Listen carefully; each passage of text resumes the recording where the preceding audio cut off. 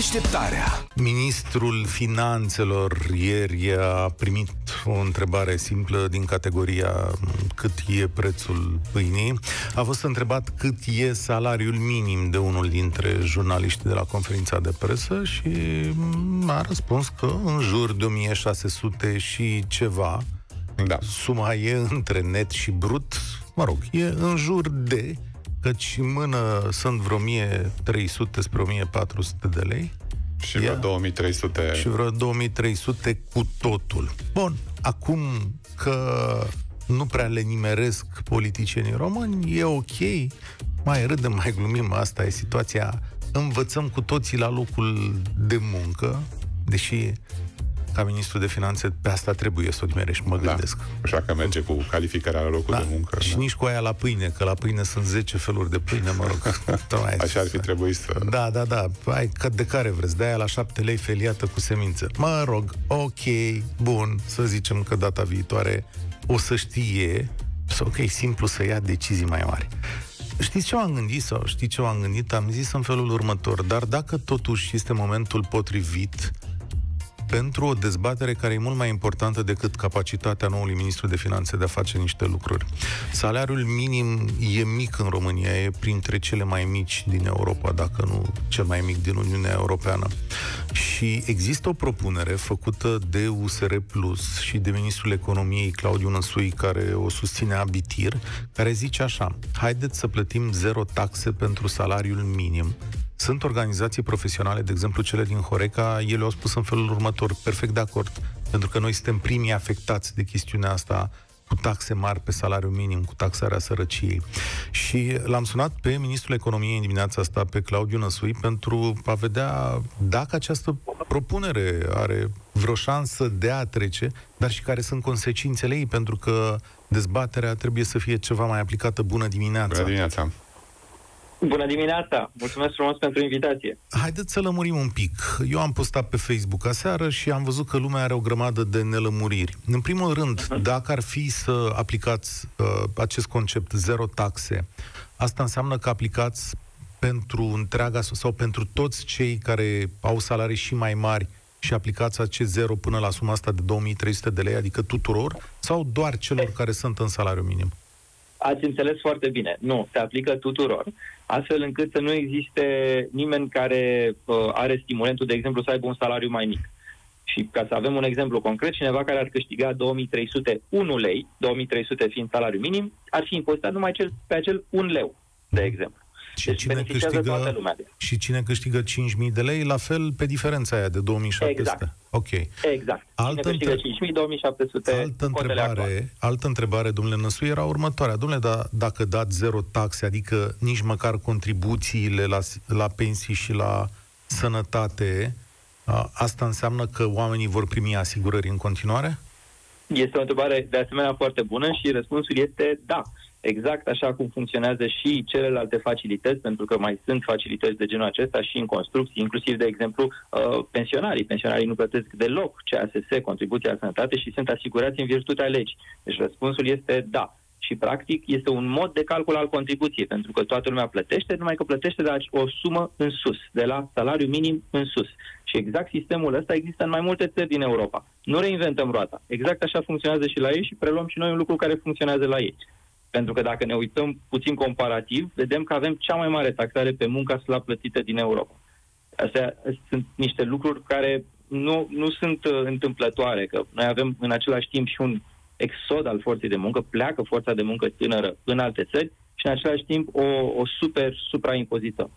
Um, Bun. Da. Ieri ministrul finanțelor a respins această idee și îmi dau seama că în guvern cele trei partide de acolo aveți probabil viziuni diferite asupra chestiunii. Cât de aproape sau cât de probabilă ar putea fi o astfel de măsură? Acum, eu ce vă pot spune este că noi în, uh, în contractul practic pe care îl avem cu PNL pentru guvernare, care contractul se numește programul de guvernare, această măsură a fost negociată și agreată și acel program de guvernare a fost uh, stabilit împreună, a fost semnat de toate, uh, de toți președinții de acel partidelor care compun coaliția, a fost votat în Parlament și este practic contractul de guvernare al, uh, al acestei coaliții cu România. nu cred că se pune problema ca PNL-ul să nu-și respecte cuvântul sau să nu respecte angajamentele făcute în, în scris și atunci aș spera că este uh, doar un moment de dezbatere pe, pe politică publică, dar nu o punere sub semnul îndoielii a implementării acestei măsuri. Argumentul fiind al PNL-ului, al Ministrului de Finanțe, asta ar produce o gaură bugetară semnificativă, ceea ce în mare măsură este adevărat. Știți, combaterea sărăciei în general costă bani. Uh, dar întrebarea este cum folosim banii pe care avem cel mai bine pentru a ne atinge scopurile. Că până la urmă asta este întrebarea fundamentală în economie. Uh, și aș, aș vrea să văd și de la toți uh, politicienii și toți analiștii uh, economici, mai ales care au vorbit despre zero taxe, aceeași preocupare cu deficitul și atunci când avem un program de tipul PNDL care vine uh, și cu un impact mult mai mare și mult mai consistent decât uh, ar avea această măsură, uh, să aibă aceeași preocupare și atunci. Și să se întrebe, dar oare cum e mai bine să dăm banii? Pentru că la PNDL 1, PNDL 2 am văzut deja cum, cum s-au cheltuit și nu, nu au ajutat dezvoltarea locală absolut deloc. Uh, au ajutat na, o baronizare în anumite județe, firme de partid, știți și dumneavoastră. Uh, dar o măsură care lasă mai mulți bani la oameni, face munca mai bine plătită într-o perioadă în care românii pleacă peste hotare să muncească, să... Că noi, noi exportăm forță de muncă. Asta este tragedia economiei românești. Noi avem forță de muncă, doar că o exportăm. Uh, și în același timp, angajatorii români, firmele române, caută forță de muncă, au lipsă de forță de muncă. Uh, deci lucrurile acestea se întâmplă din cauza unui sistem care nu funcționează bine. Și menirea noastră la guvernare este să reparăm aceste sisteme. S-a demonetizat deja cuvântul reformă. Dar da, asta trebuie să facem. Să facem această reformă fiscală Haideți... în care nu mai gonim românii din România. Să facem un calcul. Să zicem că noi avem uh, foarte mulți oameni care au salariul minim. Cam vreun milion șase de mii de salariați. Dacă, Aproximat, da, e corect. Da, aici, da. dacă ei câștigă brut în momentul acesta 2300, cu măsura propusă de dumneavoastră, cât le-ar rămâne în mână, așa, ca să înțeleagă toată lumea? Exact 2300. Deci, tehnica asta ar fi o mărire salarială importantă pentru este o mărire salarială importantă într-o perioadă în care, trebuie să o reamintim, avem inflație, cresc prețurile, de deci facturile la energie, vorbim despre consumatori vulnerabili și foarte mulți oameni care sunt, uh, sunt vulnerabili. Um, de asemenea, vorbim de o, de o economie care, an la rând, de, de, în toată statistica Eurostat la care, la care ne-am uitat, uh, suntem pe locul 1 la sărăcie în muncă.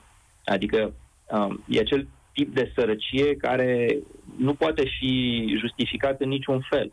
Uh, cineva care nu muncește, cineva care are o boală, cineva care, nu știu, are o problemă, poți să-i justifici situația asta de însărăcie sau risc de sărăcie. Dar cineva care muncește 40 de ore pe zi să mai fie în sărăcie și risc de sărăcie e, e imposibil de explicat. Asta este un simptom iarăși a unei economii care are o problemă. Um, ori asta, exact asta uh, facem noi, să lăsăm mai mulți bani la oameni, sau fa- ar face această măsură, să lase mai mulți bani la oameni, să activeze forța de muncă și să mm, reducă masiv, masiv din sărăcia care există în, în România.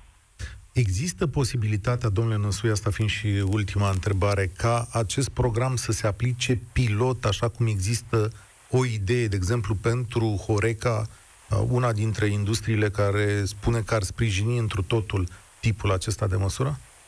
Um, este, a, asta este forma pe care am agreat-o cu, cu PNL-ul și cu DMR-ul în momentul uh, negocierilor de la Vila La când s-a negociat programul de guvernare. Uh, nu vă spun că măsura așa cum e propusă ea era pentru întreaga economie. Dar uh, colegii noștri de coaliție au zis, bine, o, o agreăm, dar pentru un, uh, pentru un sector pilot. Și acum acel sector pilot uh, este foarte posibil și ar fi foarte bine să fie Horeca din mai multe motive. În primul rând că e bine să fie uh, sectoare unde există această penurie de forță de muncă, această lipsă de forță de muncă. În al doilea rând, e bine să fie sectoare în care ai o prevalență a muncii la gri, acea, acea formă a muncii uh, care cineva e remunerat pe salariu minim oficial, dar primește niște bani neoficial și ilegal, trebuie să menționăm, uh, la aplic. Uh, și iarăși o industrie în care sunt salariile mai mici comparativ cu, cu, alte, cu alte industrie. Și atunci ar, ar fi un candidat foarte potrivit ar, s-ar potrivi foarte bine pentru, pentru acest pilot care e prevăzut în programul de guvernare. Mulțumesc tare mult. Claudiu Năsu este ministrul uh, economiei. Măsura nu este adoptată, să înțeleagă toată lumea este în dezbatere guvernamentală. Sigur, sunt o grămadă de nuanțe, nu le putem lămuri în șapte minute, dar cred că e o dezbatere de România în direct, nu? Care începe... Clar. Și uite, în sfârșit, un ministru sincer, un ministru care nu, care nu se ascunde să, să spună că au crescut prețurile, nu cum sunt alții, care bagă gunoiul sub preț și spun că e doar lapte și da, miere. Las că recuperezi din creștere. Și mai ales da. un ministru care vine cu o soluție, nu doar cu vorbe în vânt, știi? O soluție clară și la obiect. Da. Că trebuie să recunoaștem cu toții salariul la minim 2300 și ceva de lei, e un salariu de mizerie, însă dacă te pui în locul patronului care mai trebuie să dea încă pe atât la stat, E o, da. un efort financiar mare și pentru patron. Patronul va da, în situația, dacă se va adopta asta, va da banii numai angajatului. Adică cred că și asta crește, cum să zic, măcar elanul tuturor care participă în chestiunea asta. Dar sigur, sunt multe lucruri de discutat. După 13 septembrie vă invit la dezbaterea asta. Vă mulțumim deja pentru mesajele pe care le-ați trimis. Deșteptarea